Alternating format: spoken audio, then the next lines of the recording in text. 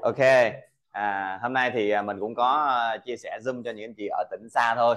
Còn những người ở gần không học đúng không ạ? Và hôm nay chúng ta chính chúng ta là những người quan trọng nhất. À, và chúng ta đều biết là gì ở đây có ai không thông qua đại hội thành công không? Như là quen hết rồi đúng không ạ? Nhìn quen hết rồi. Chưa đại hội. Cho em trồng con tay nhỏ thôi dự không sao. Cái quan trọng là tinh thần của em đi học tập là được đúng không ạ? Và thực ra trong em quay các chị hình dung là gì ạ? À, rất nhiều người đã gặp bá là bá làm mười mấy năm rồi rất nhiều người ngỡ ngàng là gì ạ sao tối ngày em quay cứ bảo đi học? Đúng không ạ? Cứ bảo mỗi việc chúng ta đi học. Và lần đầu tiên mình nghe năm cửa sáu tướng của thầy cũng vậy. Tại sao thầy cứ bảo cửa đầu tiên? Lần đầu tiên nghe chị cảm giác lần đầu tiên á hơi giật mình. Sao nghe cứ bảo đi học? Chúng ta đang đang háo hức là đang mong chờ là làm thế nào để thành công đúng không cả nhà? Làm thế nào để chúng ta có thể thành công và làm thế nào để chúng ta có thể là gì ạ? À, có được cuộc sống tốt đẹp hơn đây? Và cái công thức thành công đó là cái gì đây?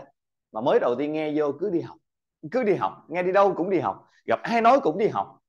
Và như là nhìn đi đâu, mấy ông lãnh đạo, gặp ông nào nói cũng đi học. Và thực sự thì nếu chúng ta mà cảm nhận thấm được cái chữ học này, bà nói gì là gì? Muốn không thành công cũng khó. Nếu chúng ta có một cái sự cam kết, cửa thứ nhất của thầy là gì? Cứ có hội nghị là đến và cứ có học là đến. Thì bà nói là gì? Muốn thất bại khó hơn thành công. Muốn thất bại sẽ khó hơn vì chúng ta càng học cái đầu chúng ta sẽ nở ra và chúng ta sẽ trưởng thành. Cho nên chúng ta hãy là gì à, hãy hãy truyền cái tức là gì? truyền cái cảm giác truyền cái sự thay đổi truyền cái con người của chúng ta để cho tất cả những người hiện tại họ không đi học. Thực ra họ không đi học có thể là họ có những lý do bất khả kháng thì ok chúng ta không không gọi là gì sự tự do lựa chọn đúng không ạ? Sự tự do lựa chọn. Ăn quay là sự tự do lựa chọn. Cái quan trọng là gì ạ? Có thể người đó họ sẽ chưa có những người là gì họ nói cái này quan trọng cái kia quan trọng. Thực ra cái cuộc sống cái nào cũng quan trọng. Đúng không cả nhà? Cái quan trọng đối với góc nhìn của họ nhưng cái quan trọng đối với góc nhìn của mình nó khác nhau. Nhưng mà chúng ta hình dung ta biết có một cái thứ rất quan trọng. Đó chính là chúng ta phải thành công càng sớm đúng không ạ? Chúng ta phải thành công. Chỉ có thành công mới giải quyết được tất cả những cái việc vấn đề còn lại. Cho nên à, những người không đi học có thể là họ có nhiều lý do. Lý do bận cái này lý do bận cái kia hoặc là có những lý do bất khả kháng. Thì đương nhiên là gì chúng ta cũng không thể nào trách. Và chúng ta cũng không bao giờ cần phải trách ai đừng bao giờ giận tiếng dưới mình không đi học đừng bao giờ giận nhánh tiếng trên không phát động hay là người này không thúc đẩy người kia không thúc đẩy. À, chúng ta cũng không cần phải giận bất kỳ ai. Quan trọng nhất đó là chúng ta có mặt. À, và ở đây thì có anh chị nào tham dự BTC buổi thứ hai à, tuần trước giơ tay cho bác giao lưu được không ạ? À, có ba bốn anh chị. À, còn có những anh chị không sao. À, và BTC lần này à, là một cái sự thay đổi và một sự cập nhật thêm nữa để cho tất cả chúng ta bản tin chắc là gì? BTC nó là một trong ba đỉnh tam giác rất quan trọng. Kỹ năng á, học chúng ta đã trải qua đại hội thành công rồi. Có một bạn chưa trải qua không sao nhưng mà tiếp xúc với bạn được vài lần mình tin chắc là gì em cũng đã rất muốn làm quay rồi. À, và cái quan trọng đó là gì? Bạn đến đại hội để làm gì? Bạn đến đại hội để bạn tìm được lý do. Đúng không ạ? Đến đại hội để bạn tìm được lý do tại sao tôi phải làm quay tại sao anh đô phải từ vũng tàu đi lên đây để học? Nếu không có đại hội thành công em hỏi thật anh đô có đi không? Anh xui biết đâu mà đi. Và chúng ta hình dung là không có đại hội thành công chúng ta có bảo trợ được cái cái gọi là gì cái cái tư duy của người khác không ạ? Gần như là không. Và không có đại hội thành công chúng ta sẽ không thể nào giúp cho một đối tác ra họ nhìn ra được đây là cơ hội. Đây là cơ hội. Cho nên chính cái đại hội thành công và chính cái đại hội thành công là cái quan trọng nhất để chúng ta có thể bảo trợ và giúp cho một ai đó nhìn ra được Amway hãy nhớ chúng ta đừng thuyết phục ai. À, mà hãy làm sao cho họ tự thuyết phục chính mình và hôm nay các chị đã tự thuyết phục được chính mình chưa có không ạ? vậy thì hỏi anh chị nếu tiếng trên nghĩ có làm không? À, nghĩ hà ơi? Đúng không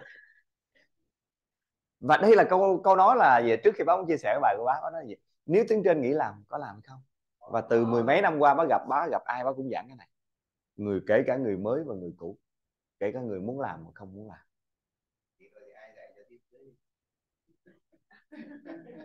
anh nói con hay đúng không ạ ông bá không ngủ rồi ông hà không ngủ rồi ông vượng ngủ rồi ai đứng đây mở tớp này để đi dạy đây?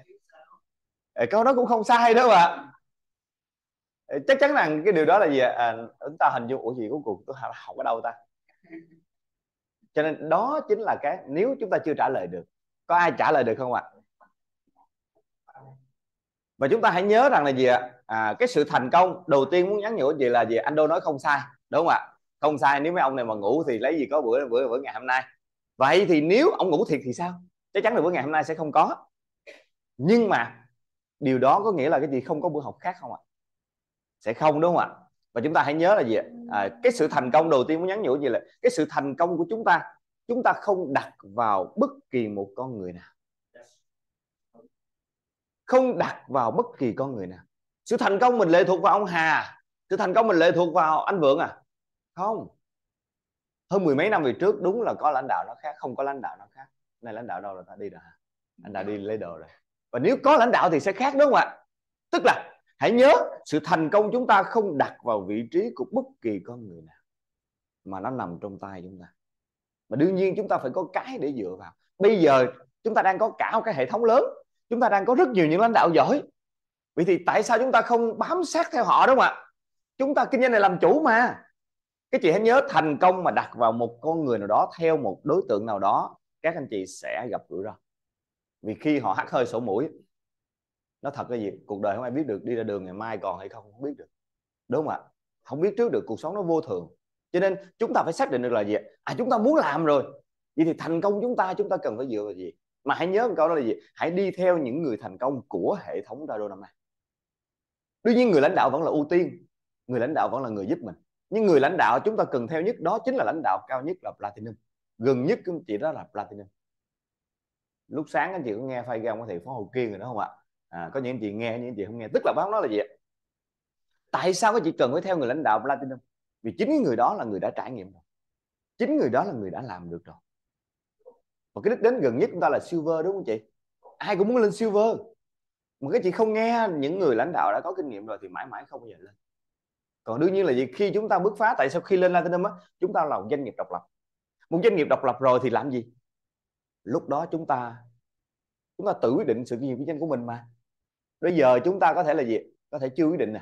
À, chúng ta đang theo người lãnh đạo nè. Ok hãy nhớ theo những người lãnh đạo có năng lượng có à, tức là gì họ cam kết. Chứ không phải là gì à, cái gì đang theo những người 12, 13, 15, 19, 17 phần trăm gì đó không biết ví dụ vậy đương nhiên đó là điều rất tuyệt vời nhưng mà người lãnh đạo đó cũng cần phải hướng lên. Còn nếu chúng ta không hướng lên và chúng ta gọi là gì à, chỉ biết một hai người nào đó mà thôi thì chắc chắn rằng sự nghiệp chúng ta sẽ gặp rủi ro sẽ gặp rủi ro. Và hãy nhớ thành công ở Amway đó là dựa vào hệ thống không dựa vào cá nhân. Dựa vào cá nhân thì sẽ thất bại. Trong đây không có một cá nhân hoàn hảo không có ai là giỏi nhất. Không có ai là giỏi nhất. Một người giỏi đó không làm nên chuyện cả nhà nha và chúng ta hôm nay chúng ta thành công á chúng ta dựa vào rất nhiều những người lãnh đạo của cả một cái tập thể. Cho nên tại sao thầy có nói là bất kỳ con người nào cũng có thể thành công? Vì thành công không dựa vào cá nhân mà thành công dựa vào hệ thống. Nên chúng ta phải làm sao là gì ạ? À, cùng nhau cống hiến cho đi và tạo ra một cái hệ thống có sức mạnh. Nếu sau này cái chị giỏi rồi có phải là gì? Những cái bài giảng của anh chị nó đóng góp cho hệ thống là cực kỳ lớn đúng không ạ? Vậy thì tại sao lúc này chúng ta không trao dồi vào cái đầu chúng ta? Chúng ta không nâng cấp con người mình lên, đúng không ạ? Chúng ta không nâng cấp con người mình lên, càng nhanh càng tốt. Mình học được những gì đó càng giỏi càng tốt. Vậy thì học giỏi xong để làm gì? Đi cho đi. Không đơn thuần là cho tiếng dưới, mà cho nhánh ngang, cho nhánh bạn, cho những người ở trong hệ thống. Và hãy hình dung là gì cái việc cho đi đó là việc rất quan trọng. Và bá thực sự rất thích cái học thuyết về gieo hạt. Nên thực ra lúc nào bá nói về gieo hạt. Bá học, bá cảm ơn người lãnh đạo tuyến trên, bá cho bá học một cái khóa học mà hiểu về được cái điều là gì. Nó cũng giống như quay tức là trước đó mình cũng không nghĩ về cái việc là quay là cứ cho đi. Bản thân mình từ rất nhiều năm qua mình cũng chả suy nghĩ gì mình làm được gì mình cứ cho. Mình cứ cho. Nhưng đồng thời lúc đó mình vô tình mình đang gieo rồi đó. Vậy thì báo muốn nói tất cả anh chị là gì ở đây cái việc học tập các chị hôm nay hay định vị là gì? Mình học không phải cho mình không. Hãy nhớ nha hôm nay chúng ta có mặt ở đây chúng ta học chúng ta ghi chép chúng ta lắng nghe và chúng ta dụng tâm này. Không phải cho mình không và những người lãnh đạo, họ đang rất dụng tâm để dành tất cả những tâm huyết để những gì để họ truyền lại. Để làm gì? Để tìm ra một cái thế hệ lãnh đạo tiếp theo. Để có thể cống hiến được cho hệ thống. Để có thể xây dựng ra một cái mái trường Radorama lớn mạnh. Cái ngôi trường Radorama này, nếu chỉ có một hai người giỏi thì chả là gì. Nếu ngưng tụ ở đây hàng trăm, hàng ngàn con người giỏi thì sao ạ? Thì xin lỗi chị, bảo trợ ai cũng được. Bảo trợ ai cũng được ai mà vào đây gặp những con người bình thường như chúng ta mà chúng ta có sự đột phá? Xin lỗi, họ cũng phải tự suy nghĩ đâu không ạ. Họ giỏi như vậy, một cái con người như vậy, mà họ lại đạt được cái thành tựu như vậy. Vì thì có phải từ niềm tự tin của họ là họ sẽ thành công đúng không cả nhà? Đó là quan trọng. Còn nếu mà chúng ta dở chúng ta đến đây thành công, chúng ta gặp toàn người giỏi không? Chúng ta tin chúng ta làm được không ạ? Không. Cho nên cái lợi hại nhất, cái lợi hại nhất của cái đại hội chúng ta là gì? Và lợi hại nhất của thầy chúng ta đó là có thể giúp cho bất kỳ con người nào ở trong đây. Bất kỳ ai cũng có thể thành công. Chỉ cần họ có một sự cam kết duy nhất. Đó chính là học tập. Đúng không ạ? Đó chính là học tập. Vậy các anh chị có cam kết học tập không ạ? Cái điều này nghe đi nghe lại hoài rồi. Ai cũng nói rồi. Nhưng bà lại muốn nói tiếp đúng không ạ? Bà lại muốn nói tiếp. À, để cho chúng ta thấm. Chúng ta thấm. Cho nên hôm nay chúng ta định vị học tập ghi chép mọi thứ như thế này. Không phải học cho mình mà học cho những thế hệ tương lai tiếp theo học cho cả một cái ngôi trường lớn của chúng ta. Học để chúng ta thay đổi, để chúng ta giỏi và chúng ta cùng nhau đi giúp cái xã hội này trở nên tốt đẹp hơn. Không quay là nơi cuộc sống trở nên tốt đẹp hơn. Hãy thấm cái câu đó, các chị nha. Nơi cuộc sống trở nên tốt đẹp hơn. Đến đây chúng ta phải làm sao cho cuộc sống của nhiều người trở nên tốt đẹp hơn. Mà muốn làm được điều đó thì cần dụng tâm học tập của tất cả chúng ta.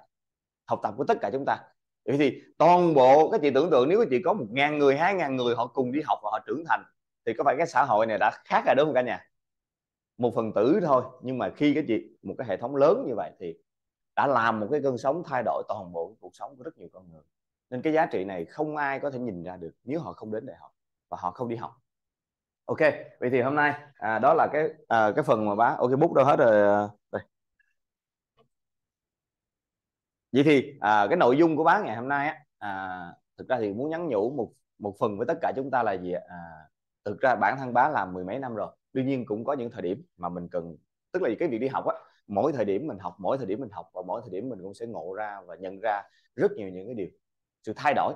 Cái chị hãy nhớ nha à, bá nhớ câu nói của anh Vượng đó là xã hội này liên tục thay đổi.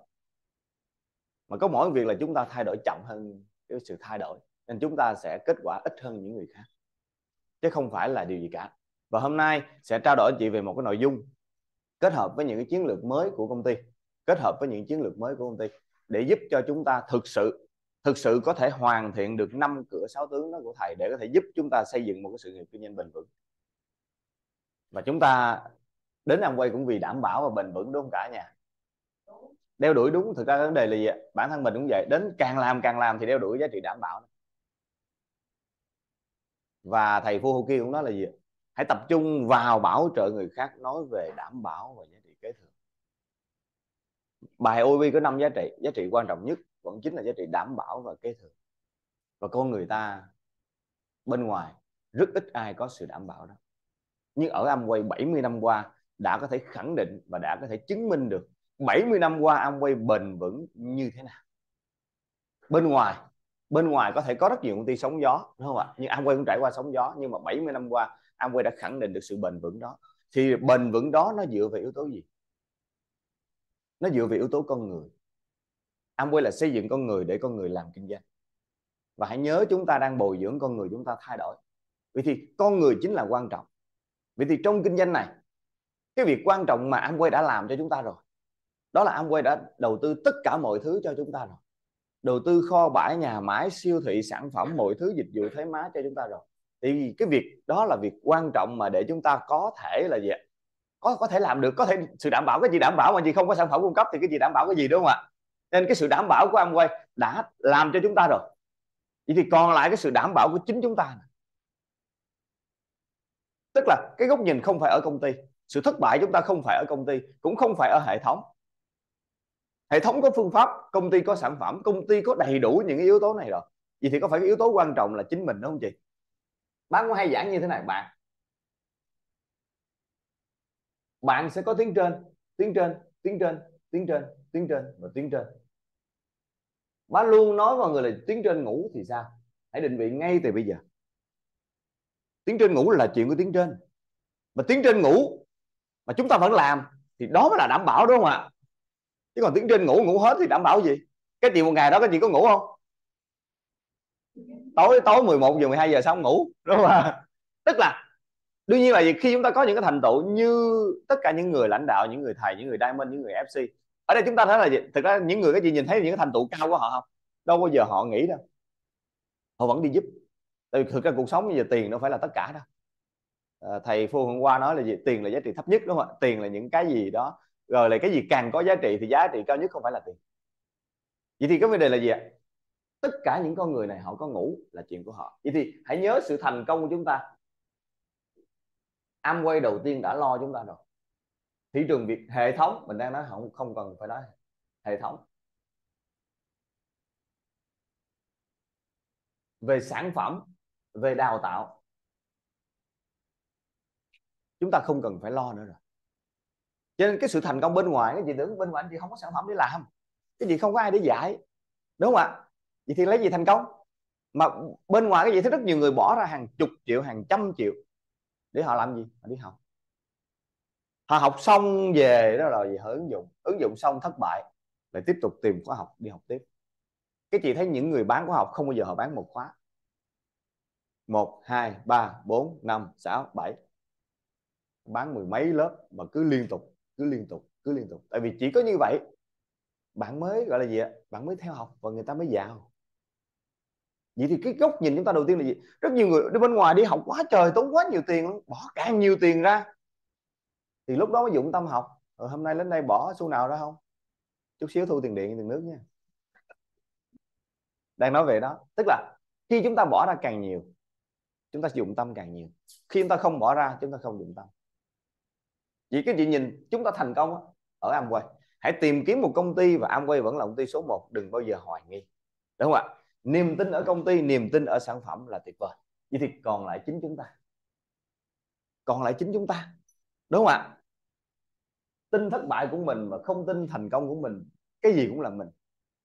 Mọi thứ đều là mình. Cho nên hãy nhớ là gì thành công hay thất bại đừng trách móc bất kỳ ai. Đừng đổ thừa bất kỳ ai. Đổ thừa tiếng trên à đổ thừa công ty à đổ thừa à, hệ thống à. Nhìn lại những cái sự đổ thừa của tất cả các anh chị nó chỉ là thừa thôi đúng không ạ? Thừa mới đổ đi mà. Mà chúng ta đừng người đổ thừa thì chúng ta cũng giống như thừa. Tại vì thừa mà người hay đổ thừa thì người đó hay thừa. Thừa thì sao ạ? Thừa thì bỏ. Cho nên người liên tục trách móc đổ thừa thì biết rồi đó bạn chuẩn bị sắp thành đồ thừa đấy đúng không ạ?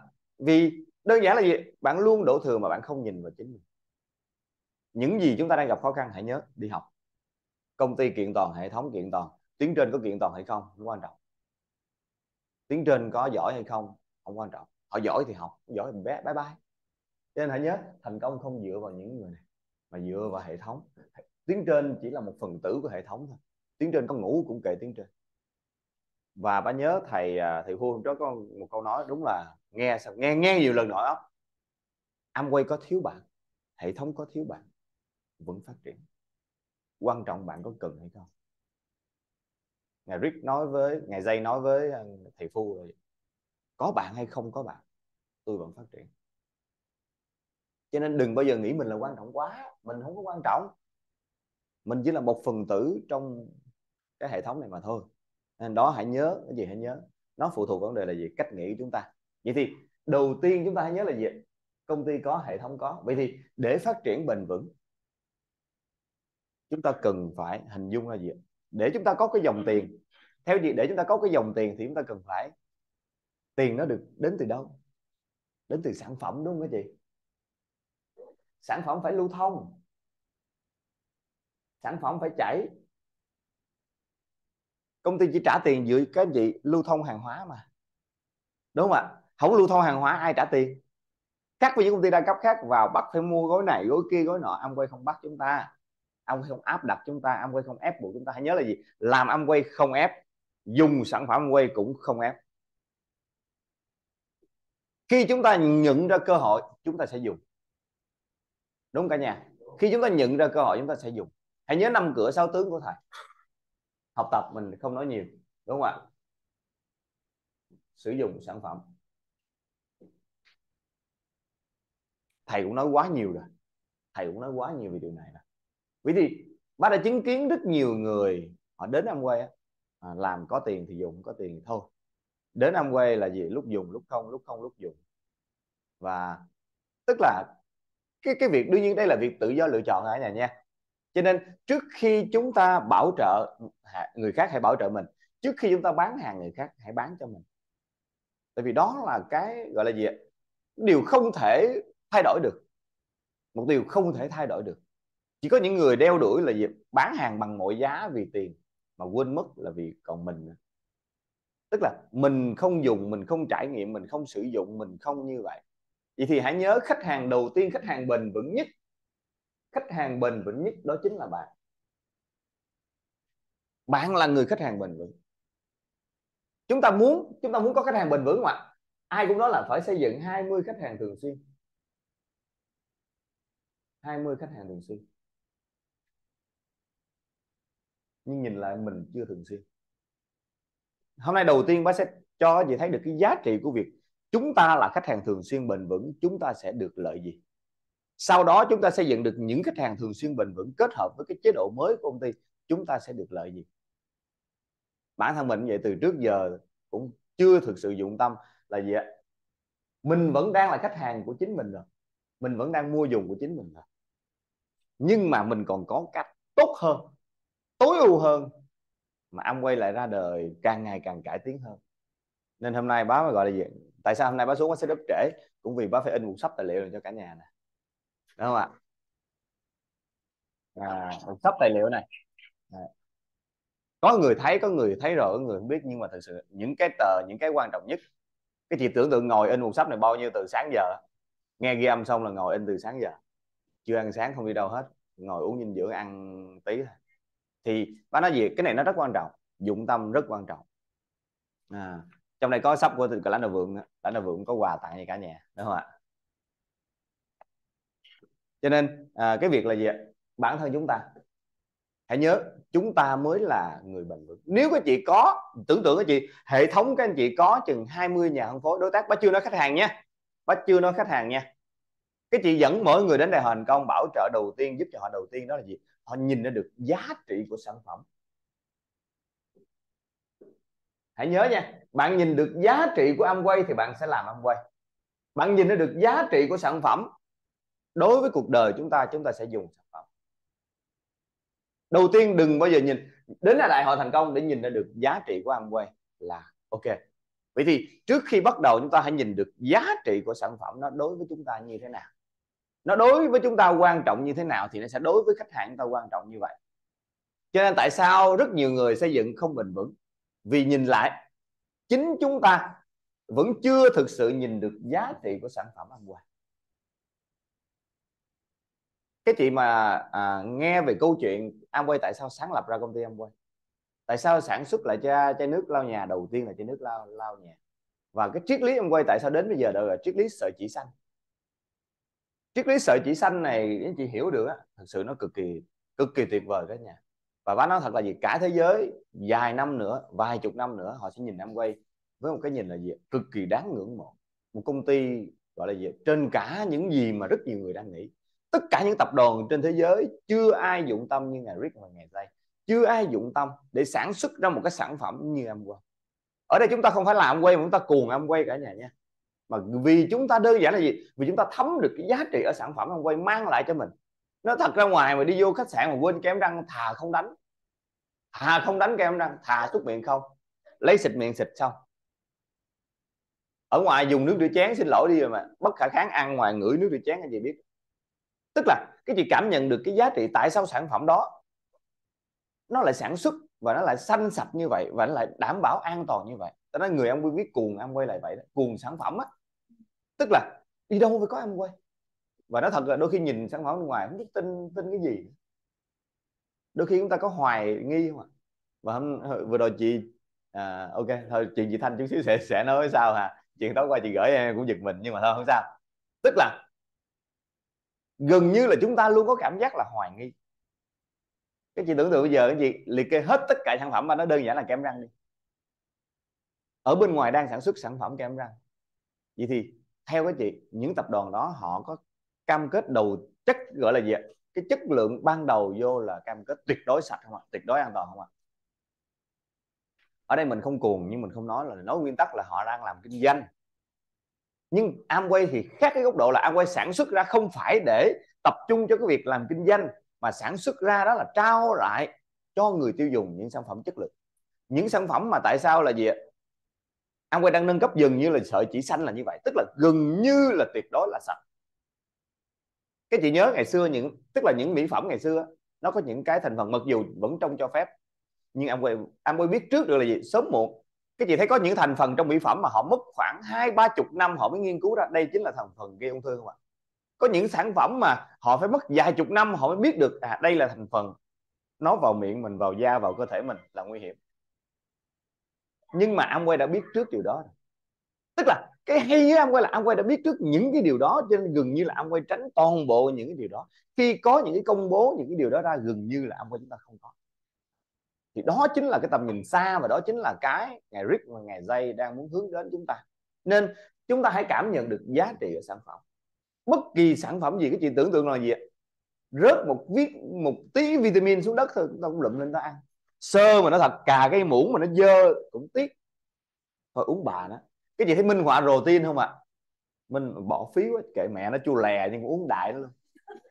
Tức là cái, cái cảm đó đó chị cái cảm mà chúng ta yêu á nó khó tả lắm. Giống như cái cảm giác khi chị được yêu á người yêu vui cũng chúng ta cũng đã vui người yêu buồn chúng ta cũng buồn người yêu thế này chúng ta cũng như thế này đúng không ạ? Cái cảm xúc yêu nó khó tả lắm. Thì cái cảm xúc yêu ở sản phẩm này nè cho nên hôm nay bác nói gì cái khách hàng đầu tiên đó là chính chúng ta.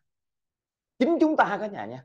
Cái tình yêu ở sản phẩm này á, nó không thể nào diễn đạt được. Nếu các chị đã, đến em quay đã nhìn ra được giá trị em quay rồi, vậy thì hãy xây dựng cho mình một cái niềm, một cái tình yêu ở sản phẩm. Vì khi chúng ta có tình yêu rồi á, theo cái chị là gì? Ở nhà anh chị chị có dẹp bà mấy sản phẩm ngoài thị trường không ạ? Cứ về nhìn. Nó thật là gì vợ mình cũng vậy, ít đi đại hội. Nó nói là gì? Cứ tào lao đôi khi là gì dùng tự nhiên lắc nhắc đi ra ngoài đi vô khách sạn nhất là vô khách sạn vậy. Tào lao có dụng có thật nhưng mà mình nói thật là mình, mình ghét ai phản phản bội lắm. Cái kiểu là gì ạ? Cái kiểu mà mình ghét mình chửi vợ hoài à. Ta nó thà không có nhìn đối đi. Thì báo nói gì ạ? Cái tình yêu đó nó bộc phát từ bên trong. Và báo nói mọi người là gì nếu chúng ta đã yêu ăn quay đã yêu môi trường thì cần phải đó là yêu sản phẩm về nhà có nhiều người nói trong nhà tôi còn đầy những sản phẩm ngoài thị trường dùng hết ra tính tiếp. Vậy thì chúng ta chưa xây dựng tình yêu cho người, đối tác người khách hàng đó. Nên đầu tiên chúng ta có tình yêu cái đã. Trước khi chúng ta trao tình yêu cho người khác, chúng ta phải là người có tình yêu, đúng không ạ? Không có lấy gì trao. Người không có tình yêu đầy trang chứa trong lòng lấy gì trao. Người vô tình cảm tôi gọi là gì người không có tình cảm á. Thì nhìn nhìn nhìn cái mặt là xong rồi, đúng không ạ? Nhìn cái mặt lúc nào cũng quầu quầu, lạo lạo, quạo quạo là nhìn thấy xong rồi tức là bạn không có tình cảm, bạn không trao được. Mà tình cảm đó nó không thể nào, gọi là gì, ai cho bạn đâu. Tức là bạn nuôi dưỡng và bạn ấp ủ và bạn thay đổi. Nên cái khách hàng đầu tiên bình vững đó nói gì là đó chính là bạn. Đó chính là bạn. Những gì mà đơn giản là gì những gì bạn, hãy nhớ ngày hôm nay về. Ai còn đánh kem răng BS đây bắt đầu nhớ tới bạn, bá. Ông đang nói rồi đấy phản bội đúng không ạ? Hơi dẹp. Dùng nước rửa chén. Dùng cái gì đó ngoài thị trường nhớ em quay có chưa? À, chưa thôi không sao. Đúng không ạ? Chưa có thì thôi. Có thì ok thay đổi. Có những người có điều kiện kinh tế nhưng không có điều kiện kinh tế. Bác không nói chuyện là gì cái chuyện đó là chuyện khác cái chị nha. Những gì các anh chị không dùng ông quay cái gì cũng bỏ tiền bên ngoài mà. Đúng không ạ? Cũng bỏ tiền ở ngoài mà. Đâu là tiền? Đúng không ạ? Có nào không là tiền không? Tiền cái đồ rẻ tiền nó khác. Tiền cái đồ ăn quay nó không gọi là mắc cũng không gọi là rẻ mà biết cách dùng sẽ tiết kiệm sẽ được. Nên những ai mà sau ngày hôm nay hãy quay trở lại à, nhìn lại trong nhà mình còn gì rồi vứt bà nó hết đi. Đúng không ạ? Vứt bà nó hết đi. Vì chúng ta đang có một mình chúng ta nè. Một mình chúng ta chúng ta làm điều này nó dễ nha. Đúng không ạ? Nhưng tưởng tượng nếu chị có hệ thống có đối tác thì sao? Chúng ta không làm điều này xin lỗi anh chị anh chị xây dựng hệ thống lên cũng vậy thôi. Nên cái câu bác nhắn nhủ đầu tiên á bác quên mất là giờ bác cũng có hạn mà bác ba giảng nãy có một cái sản phẩm thôi mà bao nhiêu bao nhiêu phút rồi không biết. Ok, không sao, cứ nói tình yêu đúng không ạ? Thì tao nói là gì? Để bền vững khách hàng chính chúng ta. Chính chúng ta.